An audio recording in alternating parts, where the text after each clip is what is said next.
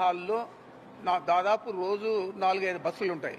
అలాంటిది మా వాళ్ళు రాత్రే ఇవన్నీ కూడా ఎన్నికలు జరుగుతున్నాయి మా ఈ బస్సులు ఇక్కడ ఉండకూడదు అని చెప్పి అన్ని కూడా పంపించేశారు. ఒక బస్సు అయితే మూడు రోజుల నుంచి ఉంది ఇక్కడ. మరి ఆ బస్సును పట్టుకొని కూడా అది ఎన్నికలకు వచ్చింది అంటే మూడు రోజుల నుంచి ఉండేది ఎవరు చూడలేదా? రోజు ఇక్కడ ప్రెస్ కాన్ఫరెన్స్లు కూడా పెడతా ఉన్నాం. సేమ్ నంబర్ అదే ఉందా లేదా చూడాలా? మరి ఆ విధంగా కాకుండా ఊరికే ఒక ఏదో ఒక క్రియేట్ చేసి దీన్ని తీసుకుపోయి ఎలక్షన్ కమిషన్కు రిపోర్ట్ చేయాలా? ఇవన్నీ చేయాలంటే మీ చేతగాంతనం మీకు ప్రజాదరణ లేదు మీరు ఓట్లు వేసుకోలేరు. జనాలు మిమ్మల్ని ఆదరించి ఓట్లు వేసే పరిస్థితి లేదు తిరుపతిలో. మరి మీరు కూడా ఈరోజు మా మీద దొంగ ఓట్లు వేసుకోవడానికి వచ్చారంటే అంటే మాకు ప్రజాబలం లేదు మీకు మాత్రం ప్రజాబలం ఉంది.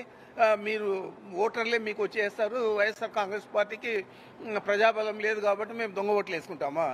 ఇంత దురదృష్టకరంగా ఇంత అన్యాయంగా చిత్రీకరించడం అనేది వాళ్ళకే తగ్గుతుంది కానీ నేను ఒకటే చెప్తున్నాను తప్పకుండా మేము కూడా ఎలక్షన్ కమిషన్కు రిపోర్ట్ ఇస్తాం.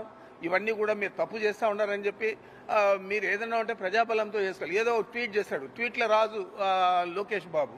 ఇంకొక ఆయనేమో జూమ్ రాజు. ఆ జూమ్లో కూర్చొని హైదరాబాద్లో కోవిడ్కి భయపడి ఆయన చెప్పేవాడు. ఈరోజు ట్వీట్ చేశాడు. వీరప్పన్ పెద్దిరెడ్డి రామచంద్రారెడ్డి వీరప్పన్ ఎర్ర సుందరం స్మగ్లర్ అని. ఎవరైనా ఈ జిల్లాలో ఏదైనా పది మంది మీ పార్టీకి సంబంధించిన వారు కూడా చెప్తే నేను స్మగ్లర్ అని చెప్పి నేను ఇప్పుడే రాజకీయాలు నేను చెప్పుకుంటా.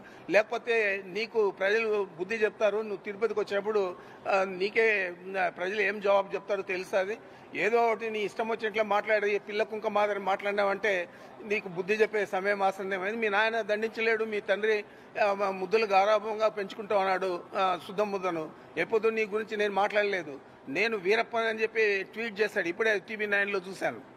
మరి నేను వీరప్పన అయితే నేను ఇరవై నాలుగు డివిజన్లలో one plus four armed guards ఇచ్చి కొత్త బండ్లు ఇచ్చి నేను ఫారెస్ట్ మినిస్టర్గా ఉన్నప్పుడు నేను కంటైన్ చేశాను ఈ ఎర్రసందన్ స్మగ్లింగ్. ఆ తర్వాత మీరిద్దరు వచ్చారు. నీ ఫ్రెండ్ కిరణ్ కుమార్ రెడ్డి నువ్వు మీరే అంత స్మగ్లింగ్ అంతా కూడా చేసి మీరు ఎవరినైతే నువ్వు ఎలక్షన్ మీటింగ్లో వచ్చి రెండు వేల తొమ్మిదిలో మాట్లాడావు. ఎర్రచందం స్మగ్లింగ్ వీరప్పను పెట్టారు ఇక్కడ ఎన్నికలకు అని చెప్పి పీలేరులో. అతన్నే మళ్ళీ రెండు వేల పద్నాలుగులో తీసుకొచ్చి నువ్వు నీ క్యాండిడేట్గా నీ పార్టీ క్యాండిడేట్గా పెట్టుకున్నావు. సిగ్గు లేకుండా. నీ కొడుకు ఆ మాదిరి మాట్లాడుతూ ఉంటే నిజానిజాలు నీకు తెలుసు కదా. నువ్వైనా చెప్పాలా కదా? మీరు రాజకీయ లబ్ధి కోసం ఎవరినంటే వాళ్ళను ఏదంటే అది మాట్లాడితే ఊరుకో ఉంటారు అనేది మాత్రం చాలా మీ- నేను తగిన బుద్ధి మీకు చెప్పే సమయం ఆసన్నమైంది మీరు ఏదంటే అది ప్రతిదీ ఏదైనా చేస్తే పెద్దిరెడ్డి చేస్తూ ఉన్నాడు ఈరోజు అంతా ఎక్కడో వేలాది మందిని తీసుకొచ్చామంట.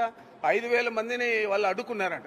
మీకు యోగ్యత లేదు ఓట్లు వేసుకునేదానికి ఈ ర- ప్రజల మన్ననలు పొందేదానికి యోగ్యత లేదు. మా మీద ఎందుకు ఇవి అబండాలు వేస్తూ ఉంటారని నేను అడుగుతున్నాను చాలా దురద press the bell icon on the YouTube and never miss miss another update.